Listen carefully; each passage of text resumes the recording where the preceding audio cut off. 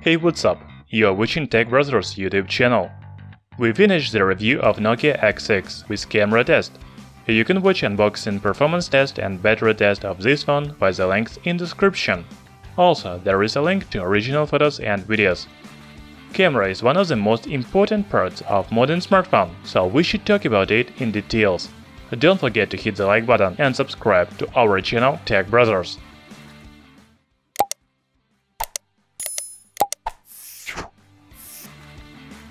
Nokia X6 is equipped with a dual rear camera. There is 16 megapixel primary sensor with f2.0 aperture and 5 megapixel secondary sensor with f2.4 aperture for bokeh effect.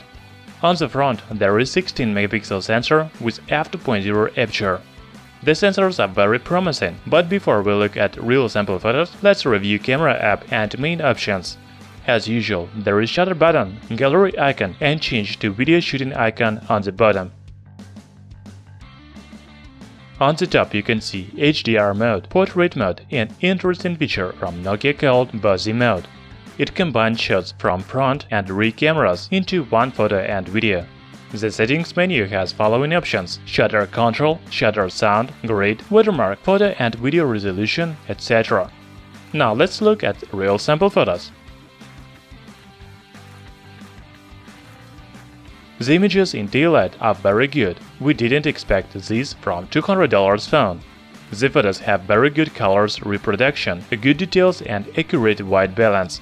But most important that photos look natural.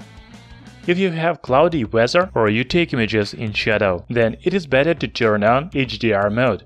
It makes the photos brighter and colors more saturated.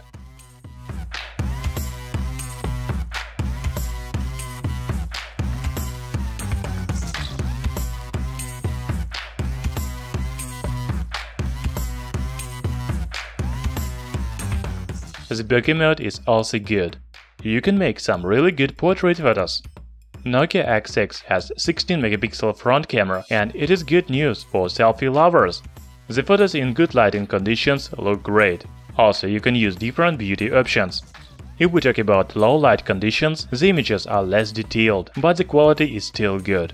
We recommend you to avoid street lights or bright signs because they make the photos overexposed. In general, you can use Nokia X6 for shooting at night. The image quality is really good for budget phone. Nokia X6 shoots video in 4K at 30fps without EIS or 1080p at 30fps with EIS. The footage in 4K has great detail and color, however the video shakes when you are moving. So it is better to shoot video in 4K when you don't move or use special stabilizer. If you are shooting video in motion, then it is better to choose 1080p. The video is not as sharp as in 4K, but it is smooth and doesn't shake.